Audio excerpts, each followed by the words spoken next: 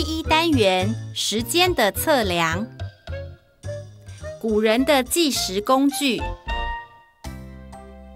在古代，摆钟还没有发明前，人们会利用大自然有规律性变化的事物来计时，例如看大地景色的变化，知道春夏秋冬四季的来临。除了利用大自然景色知道季节的来临外，古人还会利用什么方式来计时呢？看古代电视剧时，常会听到“一炷香”这个名词，它代表多长的时间呢？我们来试验看看。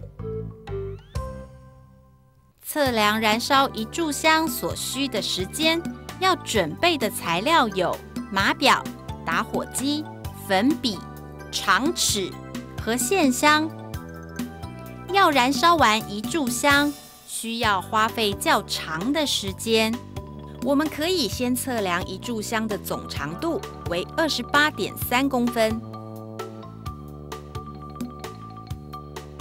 然后在靠近线香可以燃烧的那一端，用粉笔画记一公分的长度。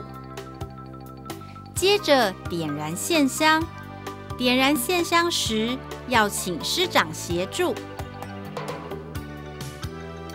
我们可以利用一些道具，如胶泥，让线香直立较好测量。当线香燃烧到一公分的起始点时，开始计时；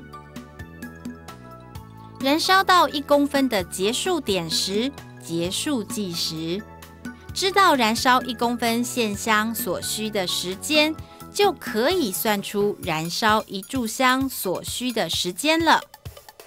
例如，燃烧一公分线香所需时间，四舍五入后约为一分钟四十二秒，则燃烧完二十八点三公分的一炷香，约需要四十八分钟。用相同的方法多做几次，并和同学比较看看测量的结果是不是差不多呢？除了线香以外，古人也会利用沙漏来计时。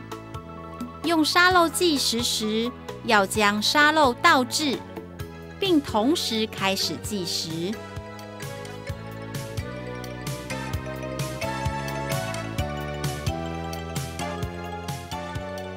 在沙漏完全漏光时结束计时，就是沙子漏光一次所需的时间。多做几次看看，结果是不是都差不多呢？